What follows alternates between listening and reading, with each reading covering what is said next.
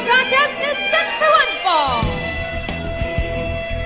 Introducing first, accompanied to the ring by Brodus Clay from San Luis, Mexico, weighing in at 215 pounds, Ricardo Rodriguez. Welcome back to Florida Championship Wrestling. Mr. Regal, I can't believe what I just saw. I can't believe what I just heard. We've got a new general manager. Maxine's out the door. Hit the bricks, darling, but got a match tonight as well.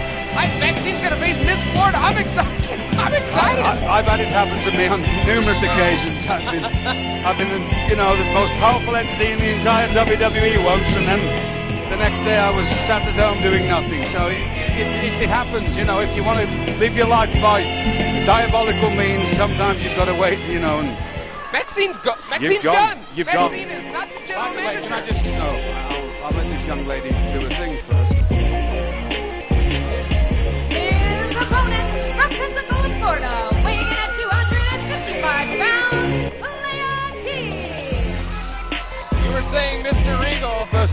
I just said, look at the presence of this young man Leakee as soon as he walks in the building. I mean, you can't help but feel that there's a star in our presence, and that's a, that's a, that's a great attribute to have. Anyway, what I was saying was, these two, Ricardo and Brodus Clay, two best heads in wrestling. Well, can I say? I can't even say that. In sports entertainment, I can't even say that, can I anymore? But I'm going to say it anyway. William Regal, you've got carte blanche as far as I'm Okay. concerned here at FCW. What the two greatest heads ever? Look at them.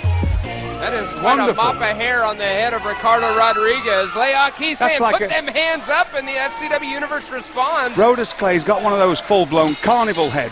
You know, like you see in Mardi Gras when one of those big things on the top, big mask. I think. I think, I, I feel like celebrating. I feel like going to Carnival. I mean, Maxine is no longer the general manager here, and Well, I tell you something. If she ever wants to get back there again, just she come ask you. Well, I, I, I know how to get back there again. I've, I've done it more than once, but here's what else. and I'm short of money. here's what else came So- out of that. city. You're short of money. I'm always short of money. Yes, I spend it all on these No. these naughty women that I have. I can't help It's blowing it on. No, Well, that- well, well, no, no, because I have to make Yeah, mention you know, of this. well, yeah. I have to make mention. Maxine's last official act as the general manager, she made a Florida, Florida Heavyweight Heavyweight, Championship yes. match between Bo Rotundo and Lucky Cannon for tonight. Our main event is going to be a Florida Heavyweight title match. And last week you saw Mr. Florida pin Lucky Cannon. Lucky Cannon does not have momentum on his side right now. Bo Rotundo. I don't know. Maybe he can do it. Maybe tonight's his night. Maybe Bo can reclaim the Florida Heavyweight Championship. Oh man, Brodus Clay T-bone suplex on the outside. and Leakee went flying. Brodus Clay is a master of that T-bone suplex. Um, and it is a T-bone. That, that, that is a picture-perfect T-bone suplex. There's a lot of different suplexes that get called the wrong names. That's picture-perfect. And, and he, he, he threw him incredibly well there and threw him on the floor, which is just pin him just down. straight down to concrete. It's, it's going to take the, you know, uh, uh, go back to it again, but take the wind out of your opponent. Your p- opponent What becomes very weak. a lackadaisical pinfall attempt by Ricardo Rodriguez. Well, he, he thought that Brodus Clay had done all the, the work there, but obviously it wasn't, wasn't to be. And Ricardo is no slouch in the athletic department in the ring. I mean, Ricardo is pretty shockingly talented. I, I, I didn't expect much seeing the personal ring announcer for Alberto Del Rio actually competing, but this guy can really go. Nice moonsault right onto Leakee. That might do it. No, Leakee kicks out. Ricardo Rodriguez fighting for all he's worth right now, and it's so important. Each match here in FCW is so important. You know that Ricardo wants to impress Alberto Del Rio, who came through the doors here at Florida Championship Wrestling. So many superstars in the past have come through the doors of FCW.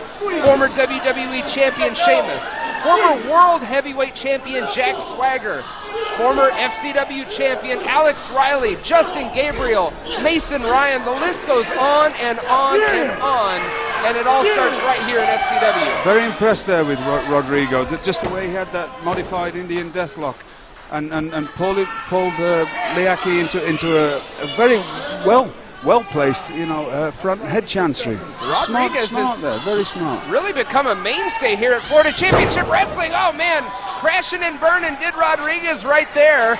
Leakee might have his opening. Do you know, I've just realised something. But what's that? Vickie Guerrero, She's not here, is No, she? No. It's Brodus with a wig on. Oh dear. She's got the really same. She's got the same kind of bingo wings that he's got. Oh my. I don't.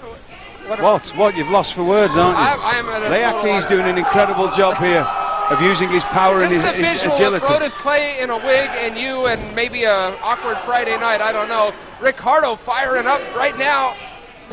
Trying for a head scissors on onto Leakee. Leakee turns it around into a tilt-a-whirl slam. Hook in the leg, Leakee. No, Ricardo just kicks out. These are the little things that Leakee needs to work on while he's here in FCW. He should, you know, you can't take any pin for granted. He should have put his arm, his, his father arm, over the top of Ricardo, so he didn't have the chance to kick out. You heard Leakee talking last week about this being still his rookie year here at FCW and so much success he's had. But but a rookie mistake right there, getting distracted by Brodus Clay, allows Ricardo to capitalize. Hooks the leg. And no! Leakee just kicking out.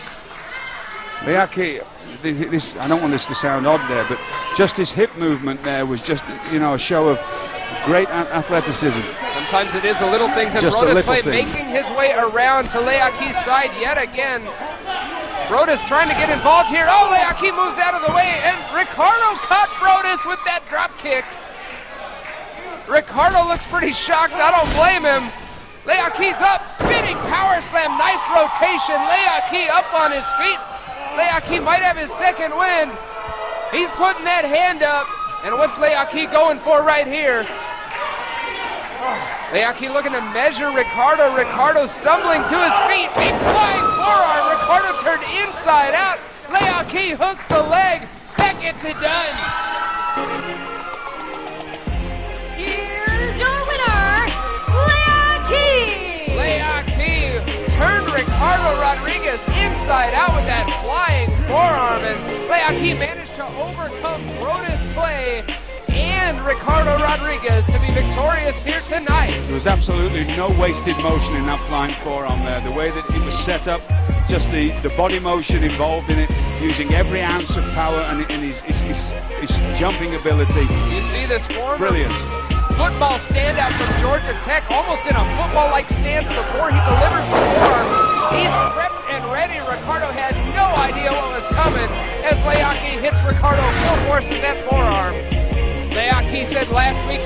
The Florida heavyweight champion, and after a performance like that, it's hard to doubt him.